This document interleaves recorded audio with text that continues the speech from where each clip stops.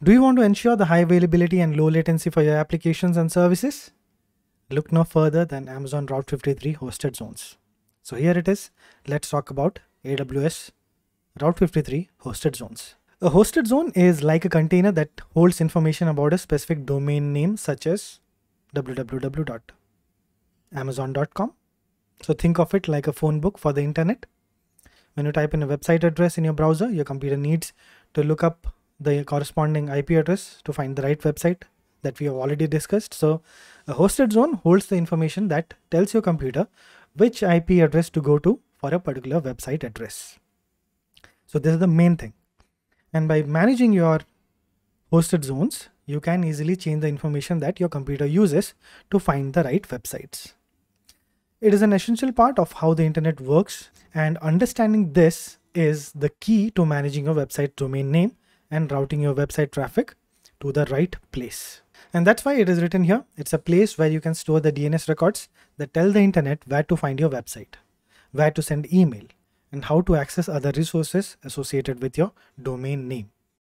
So you might be getting confused that what is a hosted zone and why it looks similar or why it sounds similar to the DNS DNS zone. So I'll tell you one thing.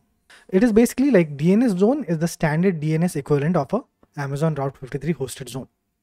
So it is a portion of the DNS namespace that is managed by a specific authoritative DNS server and contains the DNS resource records that define how a domain should be resolved. And that's what hosted zone also does. So that is the equivalence that you can draw from.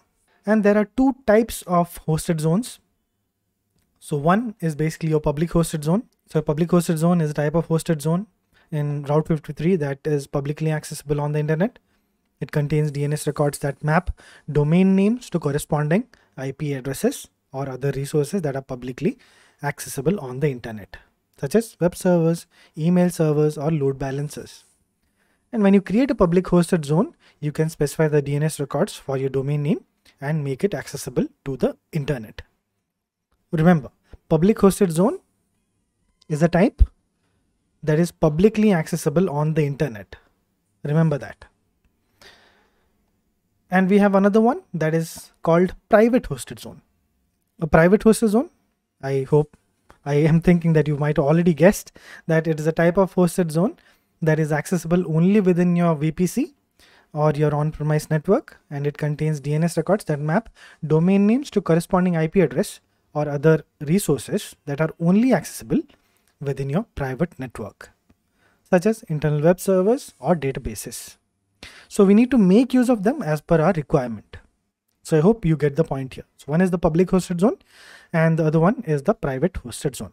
And here you can see we have the resources that are publicly accessible with the public hosted zones connecting to the resources.